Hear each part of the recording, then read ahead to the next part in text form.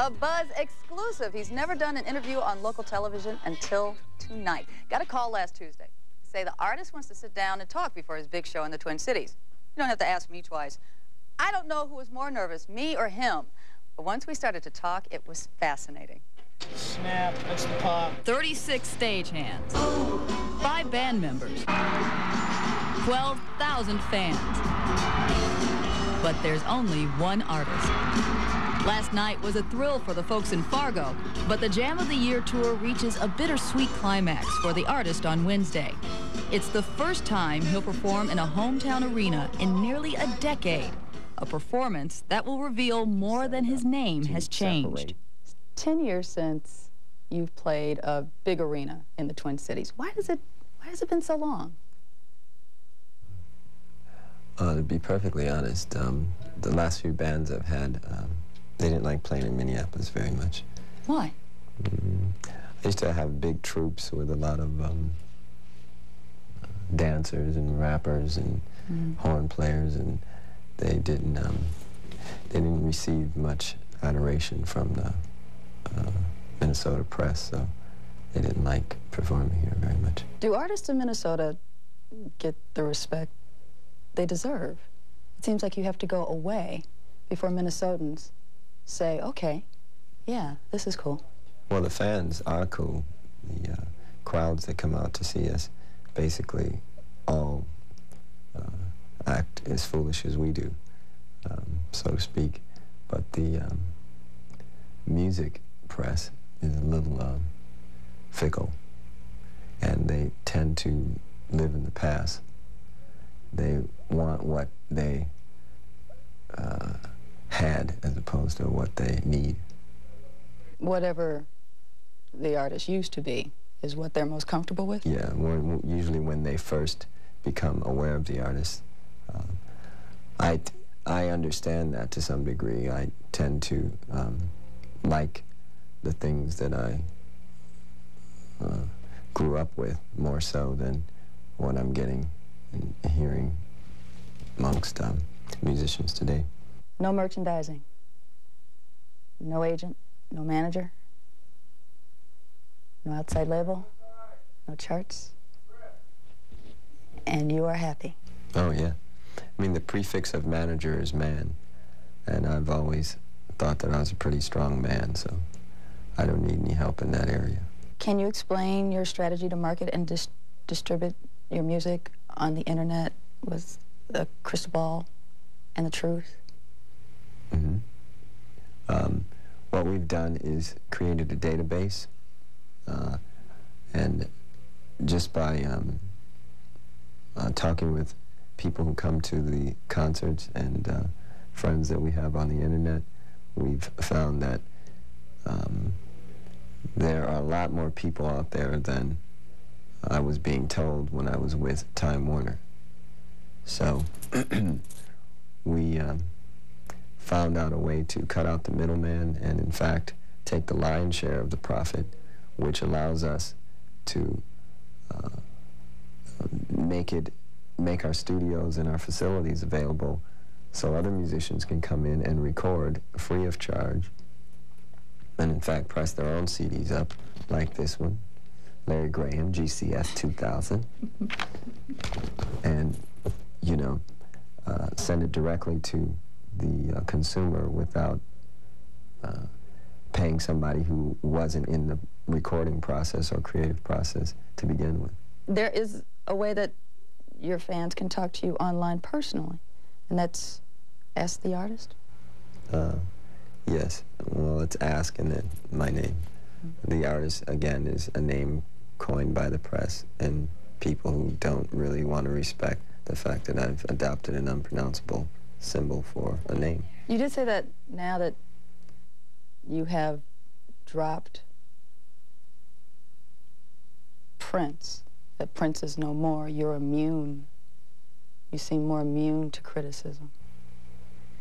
I don't go by the name.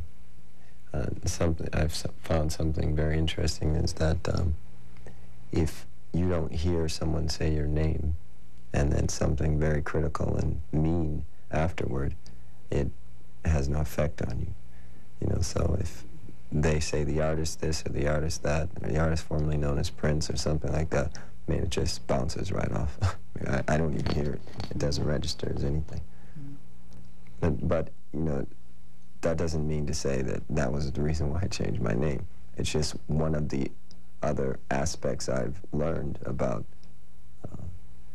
growing. I'm going to paraphrase a quote. You said if you could go into a studio every day and produce awe-inspiring music as just a normal, everyday person, you would do it every single day. And that would turn out to be a blessing and a curse. Yeah. And, um, I'm in studio rehab now. So, um, a couple more weeks, I think I'll be all right. But um, recording and, and, and, and playing so much only sometimes poses a, poses a health hazard when you don't sleep. We were up till 7 this morning uh, doing lights, and I had lost track of time and went into a jam that lasted about 30 minutes. You know, by then it was 6.30 in the morning, and, you know, everybody's looking at me like I need um, assistance. I don't see you in 20 years from now doing the dinosaur tour. Just going out and touring at 60 for like 18-year-olds. Is there a point in which you will stop?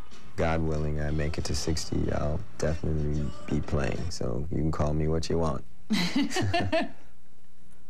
Grandpa's cool. Yeah, Grandpa's cool. Go ahead on. and Grandpa still whoop that behind. now, cool things happen when you interview the artist. The folks from the spectacle shop in New Brighton stopped by the station. They said they couldn't reach the artist to tell him that his specially made sunglasses are in. Figured since we're new buddies now, they give the glasses to me to give to him. So, if the artist is watching, you want your glasses? You Gotta give me a call. We're gonna have...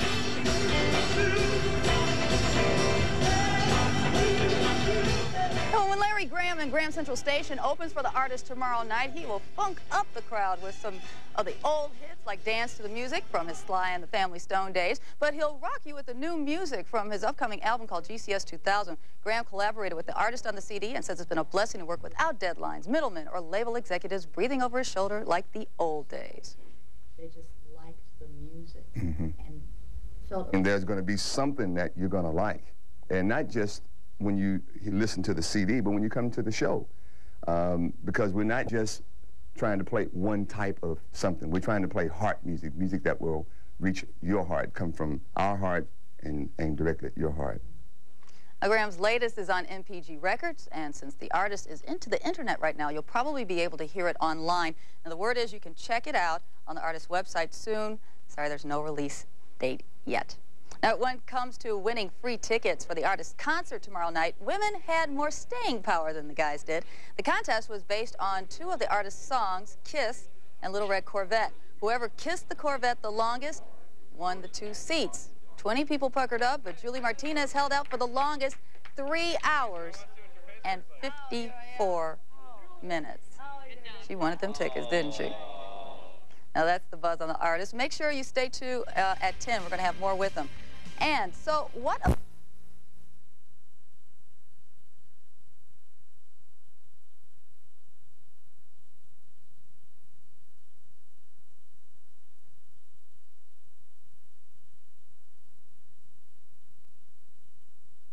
tonight for a very special report. That's right. Minnesota's Royal Rocker gave an exclusive interview to Robyne Robinson. Mm -hmm. And mm-hmm. Robyne, I know you were very amazed at just how much he opened up to you. I'm just like, pinch me still. And he was so great. He was so charming and so gracious. Just sat and talked and talked and talked.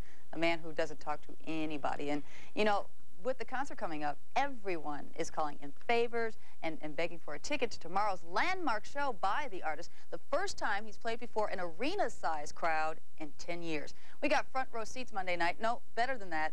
I sat right next to him for an exclusive interview. Now, if you tuned in for part one at 9, here's part two. When he steps on stage, it's electric. According to the artist, that's where he's happiest. No meddling record companies, no media, nothing to interfere with him or his music. The artist is his own man these days, emancipated from past pressures, and comfortable enough to sit down and talk to us about where he's been and where he's headed. At the time that you were playing, there was no Black Rock Coalition. There was no support base for artists, African-American artists that played rock. So what was that like for you playing? And to, to quote from the line from Purple Rain when Billy says, no one digs your music but yourself. Did it seem like that sometimes for you? Uh, sometimes, but um, I've always been uh, type of person that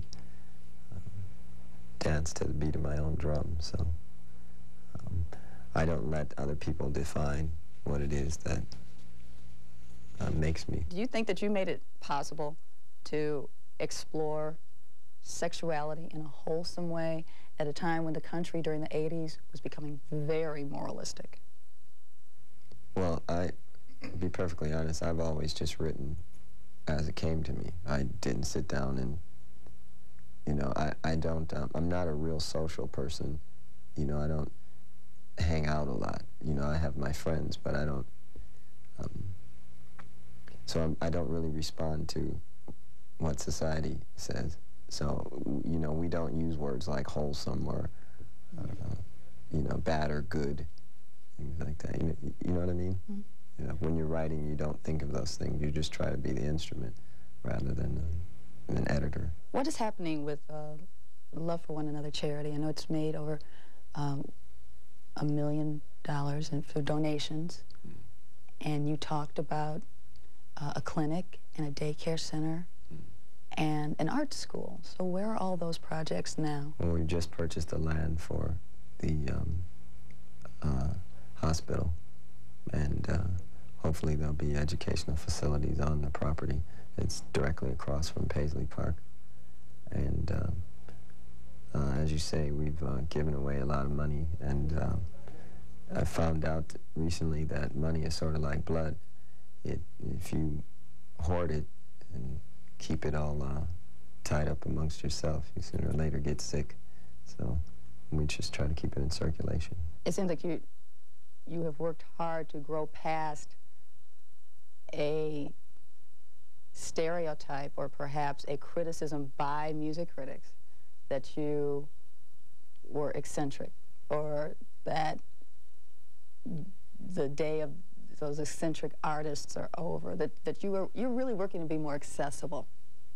Well, I don't understand music criticism uh, to begin with. I don't really understand criticism, I don't think.